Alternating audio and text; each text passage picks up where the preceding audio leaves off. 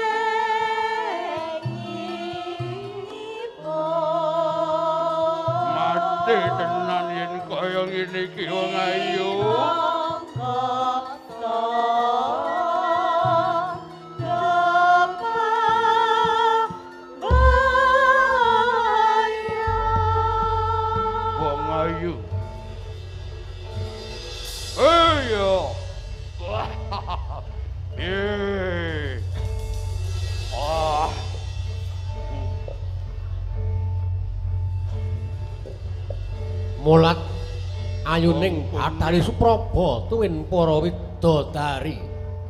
Nata ing hima himantaka Prabu Niwata kawaca.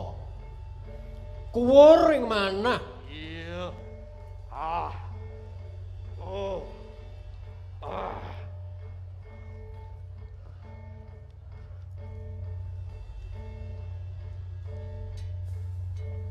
Ah, ah, ah,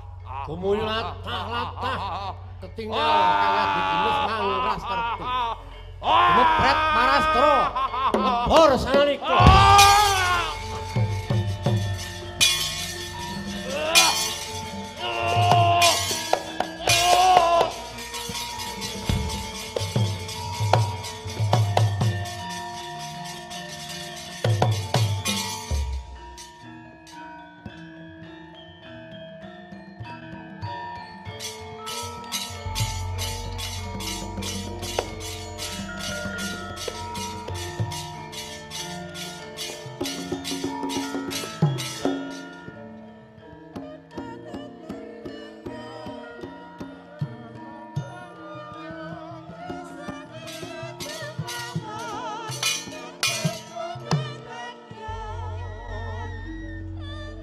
Serna lesah amblasah. Dadi jelantah. Nata ing hima himantaka Prabu Niwata kawaca. Lebet ketaman senjata permati pusaka pasupati. Lebur dadi ndek ngamun-amun sirna kang angkara murka. Wis mungkur Triwarsa lampan punika Risang Arjuna kang wis kadomenengaken nata ing kayangan Karang Kawidodaren. Nglajengaken anggenipun hangudi kawruh kasampurnan nyangulah kanuragan lepas sing marastra tanggising curiga ing pertapan deder penyu necep purita mring begawan sidik warsita kepanggya endang sembadawati punika purwaning kanang carita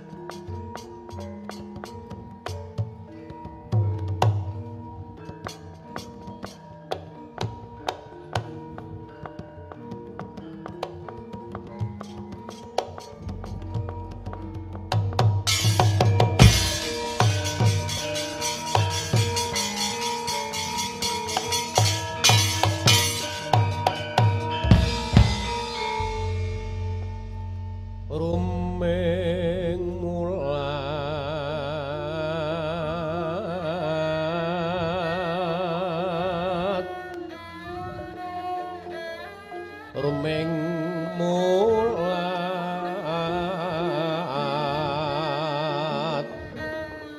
Sor Kapsari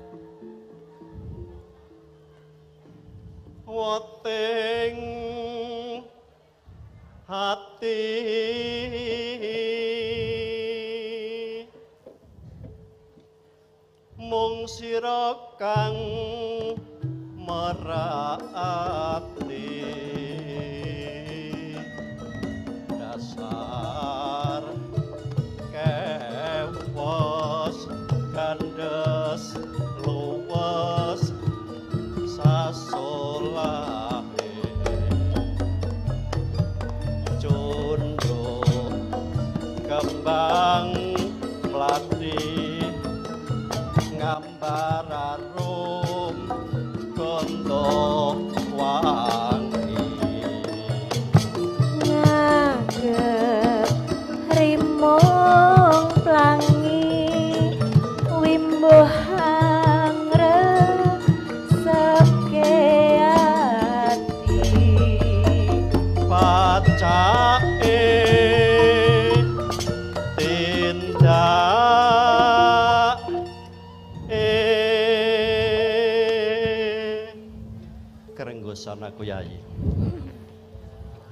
kaya macan luwe melarak sempal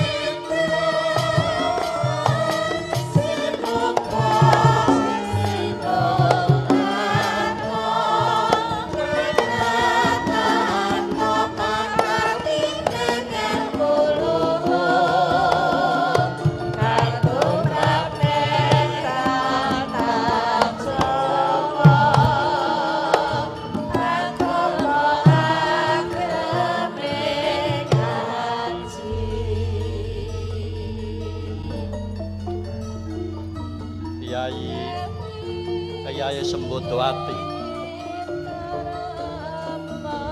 sayektine babar pisan.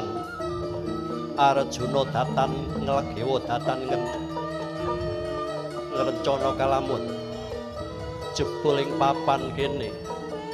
Sanadyan katone adoh ratu cedhak watu ananging jebul. Ana wanita ingkang sulistya tanpa tanding kaya siadi Yayi apa meneh sausipun kakang mapan wonten sawijining wewangunan joglo ingkang gilar-gilar kaya mangkene. Yo, iya. Ing atase pendhita gunung. Nanging gawe wis pokoke dape-dapi nganti ngungkuli kaendaning keraton. Iki gak kepiye mula bukane to, Yayi? Pripun to paduka menika?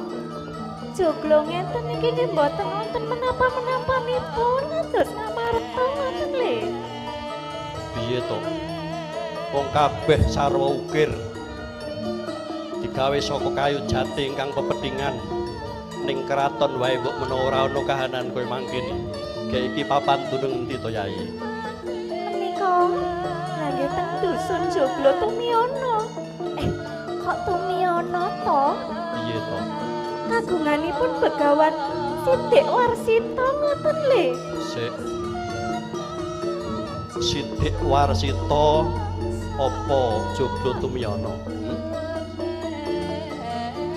Lah nggih. Pripun to paduka menika? Joglo Tumiono napa?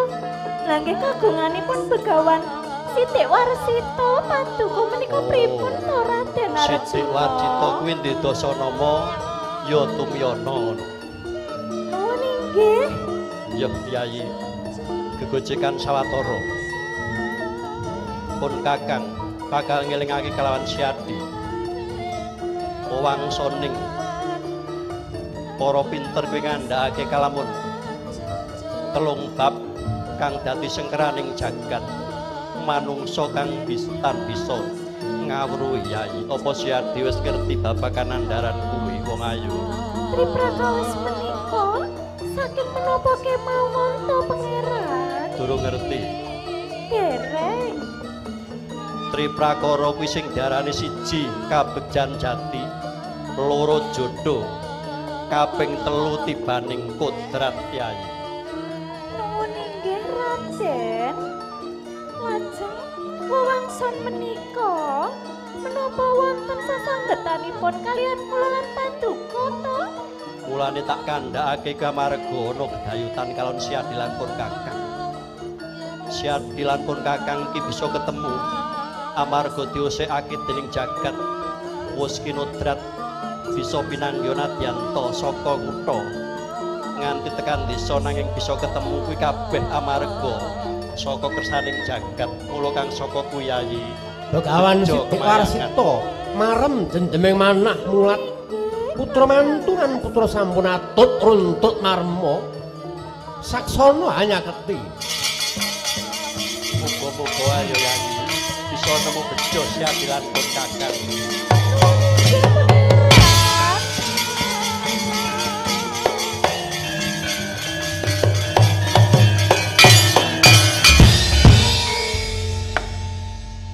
Risang moho yogi sausing semeti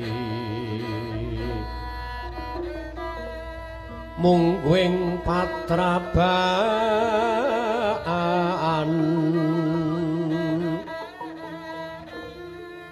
Oh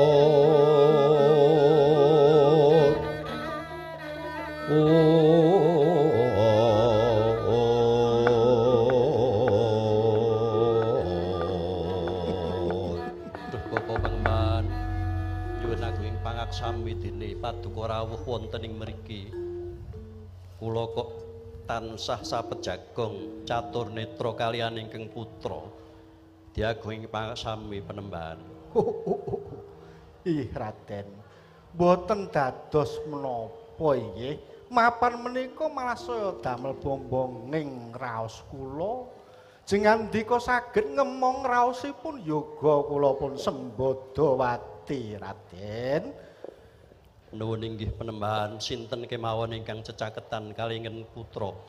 Taret tentu saged ngemong jalaran kang putra menika. Sulistya ing warna penemban. Wimbuh malih bombonging raos kula labet menapa to Raden? Wong-wong sak anak pendeta saka gunung pendeta ora kondang wae kok rinasuk dening satriya traing kusumu rembesing madu tedhake kandana warih menapa malih sing andika menika sampun kasusra kondang satriya trah barata Raden? Nah menika saya damel mongkok ing kraos kula Sampun ngantos kelado angin paduka ngalembana dhateng kula mangke mundhak gembela mustaka kula. Jen Panembahan. kasunyatanipun mekaten, Raden. Menapa malih sing andika menika puruhita dhateng pertapan deder penyu mriki kula ngibarataken sampun geni api kulan warih. Liripun sing andika boten tiyang ingkang suwung nanging sampun anggadhahi sangu ingkang jangkep mekaten, Raden. Nuwun inggih panembahan. Nanging panembahan estunipun kula jenjem mapan wonten ing pertapan nyeter penyu derpapanipun ingkang endah edipeni Inggih.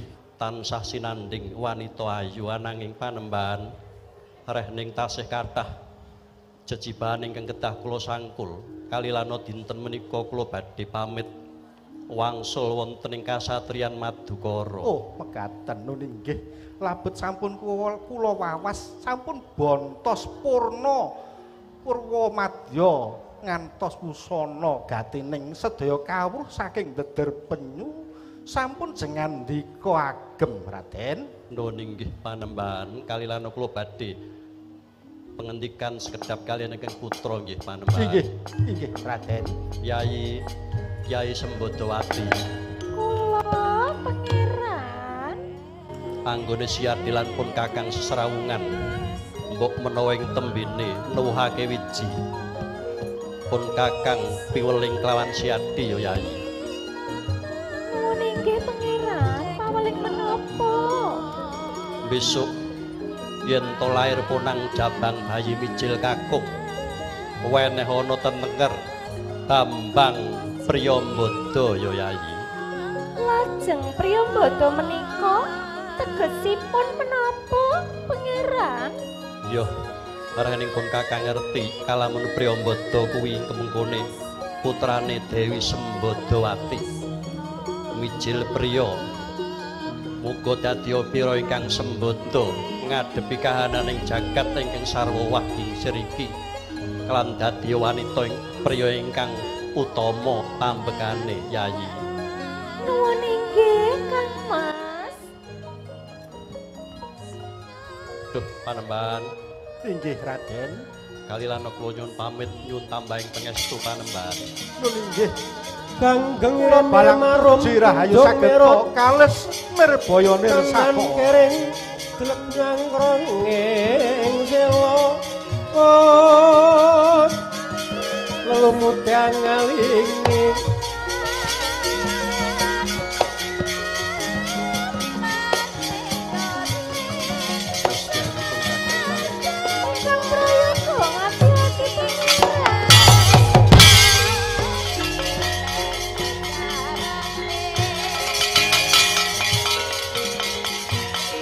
Ayo nih manjing pepungkuran.